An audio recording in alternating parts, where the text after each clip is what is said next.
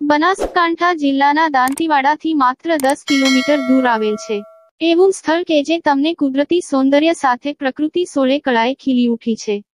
જે તમને મનમોહિત કરી દેશે એ સ્થળની આપણે વાત કરીએ છીએ તેનું નામ છે. રાણીટુંક જે દાંતીવાડાના રાનોલ ગામને અડીને આવેલ રાણીટુંક જે જ્યાં પહાડ અનેકો નાની મોટી પ્રાચીન ગુફાઓ સાથે બિરાજે છે. આમળેશ્વર મહાદેવની સાથે મહાકાળી માતાજી સહિત અનેક નાના મોટા પ્રાચીન મંદિર આવેલ છે. તે હાલ વરસાદી ઋતુમાં વનરાજી સોળે કળાએ ખીલી ઉઠી છે. જ્યાં નજર પહોંચે ત્યાં લીલીછમ હરિયાળી પાથરેલી ચાદર નજર પડે છે.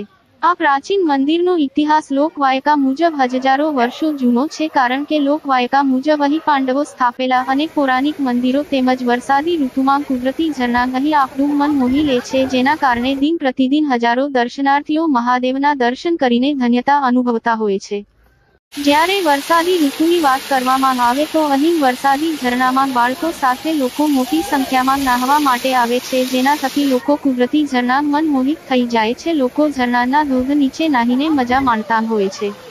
ત્યારે રાજ્ય સરકાર અને સ્થાનિક ધારાસભ્ય આવા અતિપૌરાણિક સ્થળનો યાત્રાધામ વિકાસ બોર્ડમાં સમાવેશ કરવામાં આવે તો આ ધાર્મિક સ્થાનનો વિકાસ થઈ શકે છે. ત્યારે આપ પણ જો આવા કુદરતી રમણીય સ્થળ પર પરિવાર સાથે આવીને કુદરતી ઝરણાની મજા માણી શકો છો.